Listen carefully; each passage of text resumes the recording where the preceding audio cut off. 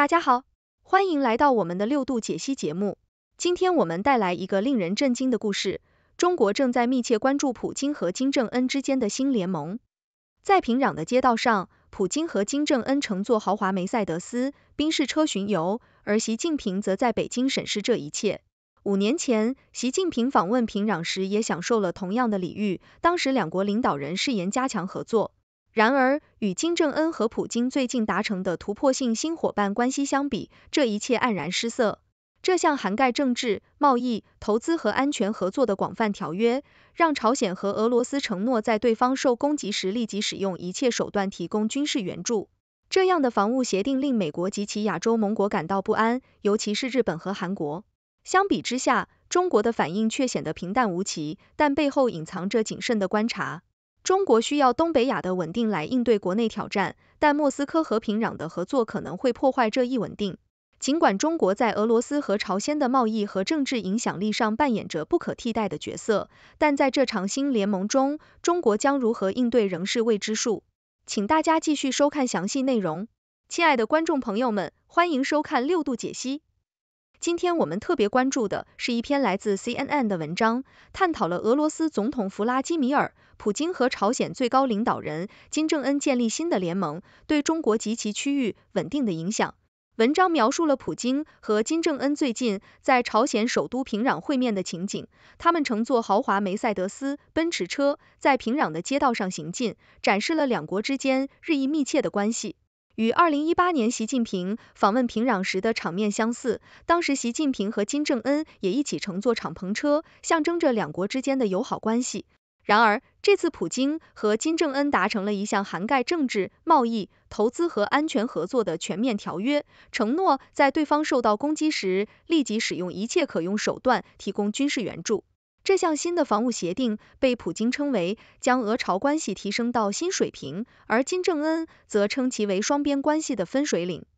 这样的联盟无疑引起了美国及其亚洲盟国的担忧，日本对此表示严重关切，而韩国则召集了紧急国家安全会议，并考虑向乌克兰运送武器。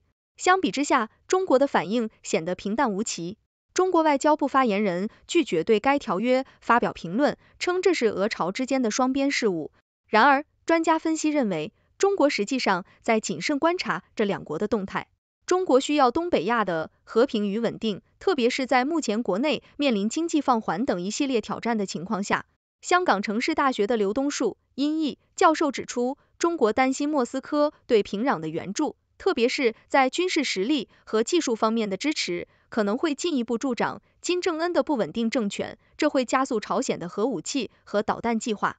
中国的目标是控制局势并防止事态升级，同时也不希望朝鲜完全崩溃，以免美国在其家门口进一步扩张影响力。目前，俄朝之间的关系正在重新调整，甚至可能打破以往的平衡。美国早前曾指责俄罗斯从朝鲜接收了大量弹药和军事物资，而俄朝双方对此予以否认。尽管美国指责中国向俄罗斯提供军民两用商品，但中国一直避免向普京提供直接军事援助，也避免支持金正恩的核导计划。如果普京在核问题上向朝鲜提供更多支持，中国将难以控制朝鲜局势。值得注意的是，朝鲜和俄罗斯签署的新防务条约可以追溯到冷战期间的1961年。北朝鲜和苏联当时签署了一项共同防御条约，在苏联解体后，该条约被一项较弱的安全保证所取代。而朝鲜与中国之间的中朝友好合作互助条约也是在1961年签署的，并且多次续签，至今仍有效。尽管北京不愿意承认这一点。但这个条约意味着中国在朝鲜受到攻击时可能会自动提供军事实力支持。然而，目前尚不清楚俄朝新条约在实际操作层面能做些什么。这项新条约是在朝鲜半岛紧张局势加剧之际达成的。金正恩一再发表激烈言论，并废除了与韩国和平统一的长期政策。尽管从技术上讲，朝韩在一九五三年朝鲜战争结束后一直处于战争状态，但这项条约的政治信息非常明确，在对美国及其盟国的共同敌意驱使下，俄朝两个独裁国家正试图破坏并替代西方主导的全球秩序，这是中国的共同目标。普京在与金正恩会晤后发表讲话，抨击美国及其盟国的所谓帝国主义政策。一个月前，普京和习近平在北京会面时也发出了类似的指责。两国领导人共同承诺要应对由美国主导的全球安全体系，这让西方观察家对中俄朝三国之间的邪恶轴心表示担忧。从中国的角度来看，尽管俄朝联盟在不断深化，但中国会谨慎保持距离。专家指出，中国不希望被视为新邪恶轴心的一部分，但实际上，中国在这个局势中的影响举足轻重。中国仍然是俄罗斯和朝鲜最大的贸易伙伴，为这两个受到严厉制裁的经济体提供了重要的经济支持和外交掩护。在总结中，中国并不认为俄朝结盟是一种背叛，因为两国仍然需要依赖中国。尽管俄朝关系有所升温，但中国在整个局势中始终是不可或缺的角色。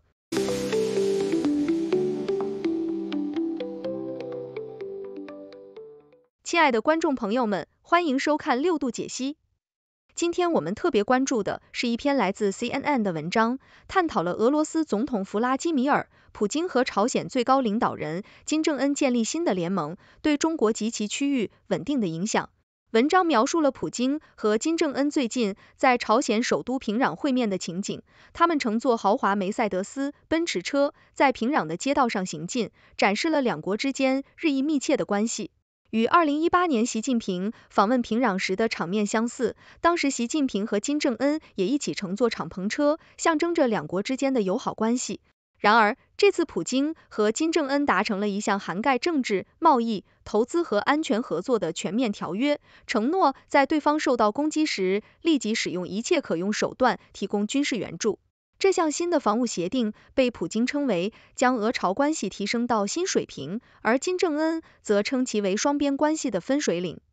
这样的联盟无疑引起了美国及其亚洲盟国的担忧，日本对此表示严重关切，而韩国则召集了紧急国家安全会议，并考虑向乌克兰运送武器。相比之下，中国的反应显得平淡无奇。中国外交部发言人拒绝对该条约发表评论，称这是俄朝之间的双边事务。然而，专家分析认为，中国实际上在谨慎观察这两国的动态。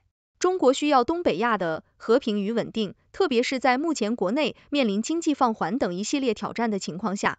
香港城市大学的刘东树、音译教授指出，中国担心莫斯科对平壤的援助，特别是在军事实力和技术方面的支持。可能会进一步助长金正恩的不稳定政权，这会加速朝鲜的核武器和导弹计划。中国的目标是控制局势并防止事态升级，同时也不希望朝鲜完全崩溃，以免美国在其家门口进一步扩张影响力。目前，俄朝之间的关系正在重新调整，甚至可能打破以往的平衡。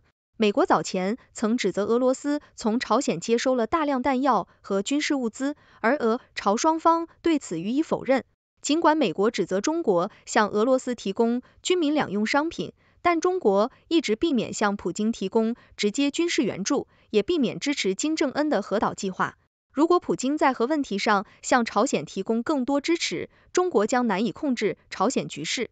值得注意的是，朝鲜和俄罗斯签署的新防务条约可以追溯到冷战期间的1961年。北朝鲜和苏联当时签署了一项共同防御条约，在苏联解体后，该条约被一项较弱的安全保证所取代。而朝鲜与中国之间的中朝友好合作互助条约也是在1961年签署的，并且多次续签，至今仍有效。尽管北京不愿意承认这一点。但这个条约意味着中国在朝鲜受到攻击时可能会自动提供军事实力支持。然而，目前尚不清楚俄朝新条约在实际操作层面能做些什么。这项新条约是在朝鲜半岛紧张局势加剧之际达成的。金正恩一再发表激烈言论，并废除了与韩国和平统一的长期政策。尽管从技术上讲，朝韩在一九五三年朝鲜战争结束后一直处于战争状态，但这项条约的政治信息非常明确，在对美国及其盟国的共同敌意驱使下，俄朝两个独裁国家正试图破坏并替代西方主导的全球秩序，这是中国的共同目标。普京在与金正恩会晤后发表讲话，抨击美国及其盟国的所谓帝国主义政策。一个月前。普京和习近平在北京会面时也发出了类似的指责。两国领导人共同承诺要应对由美国主导的全球安全体系，这让西方观察家对中俄朝三国之间的邪恶轴心表示担忧。从中国的角度来看，尽管俄朝联盟在不断深化，但中国会谨慎保持距离。专家指出，中国不希望被视为新邪恶轴心的一部分，但实际上，中国在这个局势中的影响举足轻重。中国仍然是俄罗斯和朝鲜最大的贸易伙伴，为这两个受到严厉制裁的经济体提供了重要的经济支持和外交掩护。在总结中，中国并不认为俄朝结盟是一种背叛，因为两国仍然需要依赖中国。尽管俄朝关系有所升温，但中国在整个局势中始终是不可或缺的角色。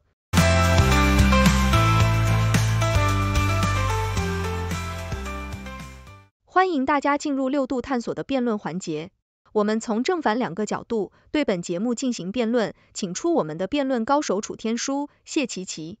我是楚天舒，我是谢琪琪。哈哈，这又是一场国际政治的肥皂剧。普京和金正恩这对新朋友真是让人忍俊不禁。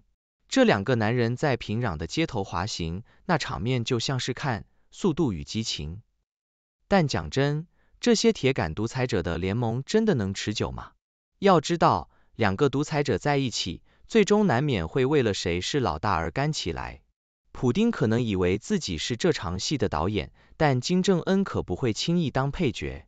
还有，中国这个大象在房间里，能不踩到他们的小指头吗？楚天舒，你这是典型的嫉妒心作祟啊！普京和金正恩的联盟可不是闹着玩的。你知道吗？这可是有历史渊源的。他们的友情可以追溯到一九六一年，那时候的苏联和北韩就签订了防务协定。更严肃的是，他们这回可是达成了涵盖政治、经济、军事等方方面面的合作协议。别忘了，美国的情报报告说，俄罗斯已经从朝鲜收到了二十六万吨弹药。这可不是小数目，这样的合作关系可不是你说的肥皂剧，而是实实在在的国际政治博弈。谢琪琪，你这么认真，是不是忘了幽默这回事？好吧，既然你要走严肃路线，那我们来谈谈这些别有用心的联盟。历史的教训告诉我们，独裁者之间的联盟往往是短命的。看看二战期间的轴心国，日本和德国还不是打着打着就干起来了，而且。普京和金正恩这么急于抱团取暖，说明他们各自的日子也不好过。普京在乌克兰战争里陷入泥潭，金正恩的经济政策更是让朝鲜百姓吃不饱饭。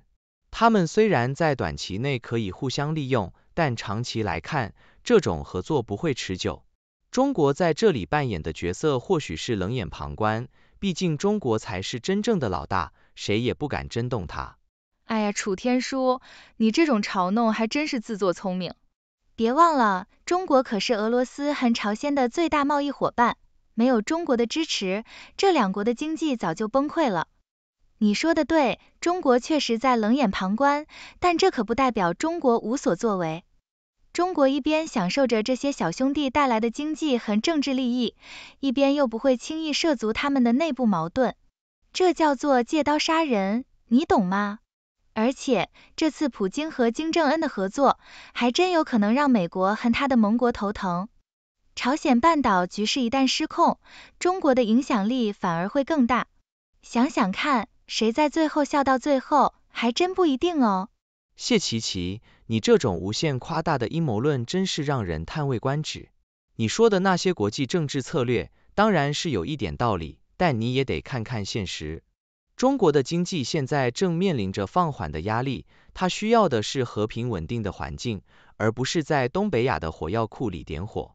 普京和金正恩的联盟对中国来说更像是一颗不定时炸弹。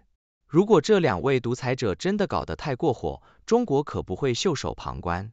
历史上的冷战时期，中苏关系破裂还在眼前，一山难容二虎。相信我。当普京和金正恩真的开始干架的时候，中国会是第一个跳出来的观众。哈哈，楚天舒，你这真是把中国描绘成了一个爱看热闹、不怕事大的老大哥。不过你倒是提醒了我一点，历史确实是充满了不确定性。既然你这么喜欢历史，那我们就来看看朝鲜战争以后，中国一直是朝鲜的主要支持者，这一点可是没有改变过。无论普京和金正恩之间怎么打情骂俏，只要中国觉得有必要，他就会介入。你说的对，中国需要的是和平稳定，但别忘了，这种稳定是建立在中国对朝鲜的控制和影响力上的。所以，即便普京和金正恩的联盟真的成了，中国也会在背后拉着线，保证自己能够随时收拢局势。